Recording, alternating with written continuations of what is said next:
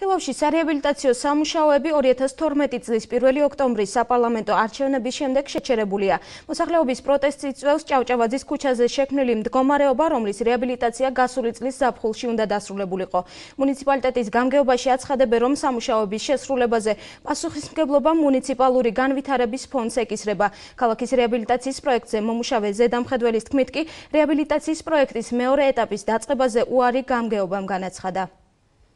ასე გამოიყურება თელავში ჭავჭავაძის ქუჩა, რომლის რეაბილიტაცია წინამთავრობამ გასულ წელს დაიწყო. სარეაბილიტაციო სამუშაოები აქ 8 თვის წინ დასრულდა და გზის ბედი დღემდე გაურკვეველი რჩება. ჭავჭავაძის გამზირი, გომბორის გზის და ახმეტის მუნიციპალიტეტის დამაკავშირებელი ერთ-ერთი მთავარი მაგისტრალია, რომელიც მგზავრებს თელავთან აკავშირებს. გზაზე შექმნილი მდგომარეობით ერთნაირად ზარალდება ფეხით და ავტომობილით მოსიარულეც. ადგილობრივებმა რეაბილიტირებული გზის ჩაბარების პირობა გასულ წელს მიიღეს, თუმცა მას შემდეგ არაფერი შეცვლილა. ფეხითაც შედადის ხალხი და რომელ მანქანაზე უნდა ვილაპარაკო?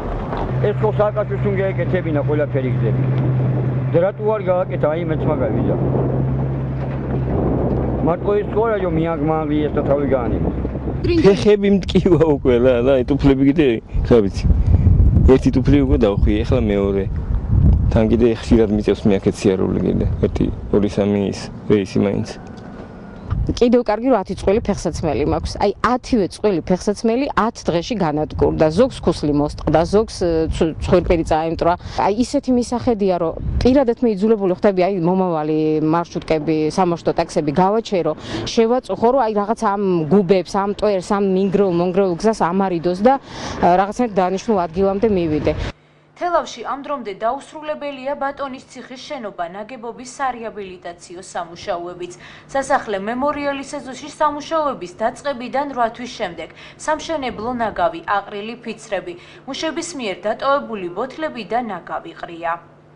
რაფერი შედეგი არ მოუტანია კაპუჩების მეტი. მეფის სასახლე იყო იმის დანგრევა შეიძლებოდა. ხო შეიძლებოდა. ან მეორე სკოლა რო დაანგრეს, იმ სკოლის დაანგრევა შეიძლებოდა რაღაც. ან რას აკეთებენ, რას აშენებენ ვინიც. რუსთაველის ქუჩის მცხოვრებთა უკმაყოფილებას იწევს რეაბილიტაციის დროს შესრულებული სამუშაოების ხარისხიც. მათი თქმით, სამუშაოების დასრულებიდან რამდენიმე კვირაში გზა დაზიანდა და აქ დაგებულმა ქვაფენილმაც ერთჯერადი გამოყენების ეფექტი მიიღო. გზა იყო რა, წესიერი. ეხლა არაფერი არ არის. აღარაფერი აღარ არის. არეული დარეული აგე იქაც ამოვარდნილია იქაც ამოვარდნილია. სუ ამოვარდნილებია. ეხლა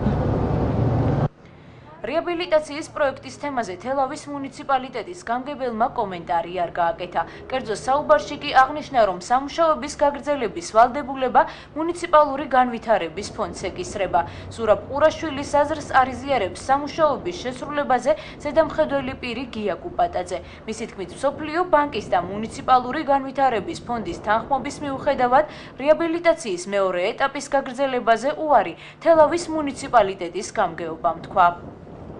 მუნიციპალური განვითარების ფონდს უკვე დაწყებული ქონდა ამ საკითხზე მუშაობა სოფლიო ბანკთან.